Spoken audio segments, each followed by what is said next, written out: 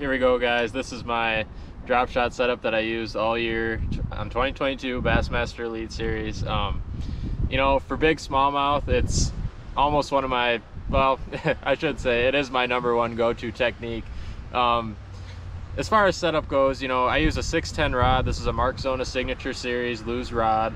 Um, I like the little bit shorter rod, you know, because I'm a little bit shorter guy, so I can land fish, you know, on the side of the boat a little bit easier and things like that.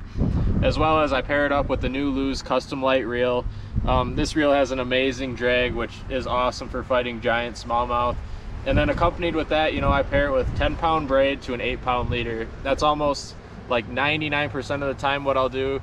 There's a couple times where I'll go down to maybe a six pound leader, but uh, you know, normally I like to keep it at that eight pound just because, you know, it lets me get away with a, a couple of things. Um, you know, when they go on long runs and things like that around big boulders, um, you know, I, I, can put a little more torque on them and get them out of there. So, you know, all around. And then another key little feature that some people might not pick up on is I use a quarter ounce drop shot weight. And, uh, you know, this is only up to say like 18 to 20 feet of water. Um, anywhere past that, you know, I have to step it up to a 3 eighths or a half. But actually a few times this year, even on the St. Lawrence, I caught a lot of my fish on the fall, which that quarter ounce weight um, attributed to that, you know, they were able to catch it on the fall. So, you know, all around, this is my drop shot setup, and uh, this is what got it done for me this year, fishing for big smallmouth.